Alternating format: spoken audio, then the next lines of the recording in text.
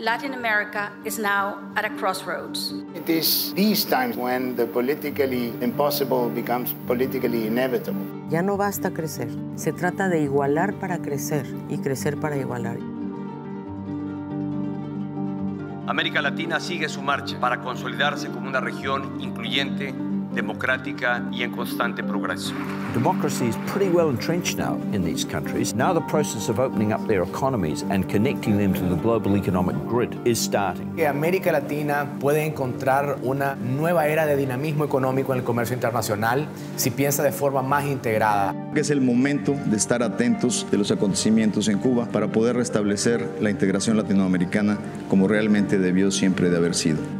Relations between countries are being defined by societies and peoples, and we see commerce and investment as a central part of this. Lo que uno imagina en América Latina es que seamos capaces de llevar la economía legal y formal para que reemplace a las economías criminales. The way to tackle this is to build the foundations, the rule of law, and access to justice. Judicial system and institutions are key factors to attract foreign investments. Es bien importante cómo se invierte en los fondos del pueblo y que esa inversión tenga el mayor impacto en la calidad de vida de los ciudadanos. If the region needs to preserve its social and economic achievements, structural changes must be addressed. We have a very big gap in what is the size of infrastructure investment in other regions versus what we invest in our region. Infrastructure brings connectivity and increases economic opportunities for a country, but it also connects people. Innovation and social investment need to partner in a way in which we can not only be green, but we can have access for all. Consumer driven sectors, health sectors, telecommunications, technology sectors, energy sectors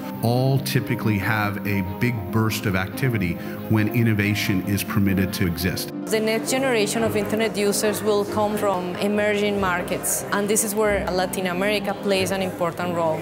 El siglo XXI es el siglo de aquellos que son capaces de generar talento, desarrollar talento e integrar talento. The new generation come across disrupting the way things are done. We have to meet the middle class expectations. That means jobs, skills, training, education for the next generation, for the youth. Real development in our nation is investing in women and girls. It's not just good for women, it's good for societies. Unless there are cooperative actions on civil society, government, and business, we're not going to solve these big problems. How can we make this transition faster, better, and more inclusive for the society? Hay talento, hay capital, hay innovación y hoy me da gusto oír una Latinoamérica que es mucho más ambiciosa en lo que quiere lograr. El avance civilizatorio tiene que ser avanzar, modernizarnos, pero con los seres humanos incluidos.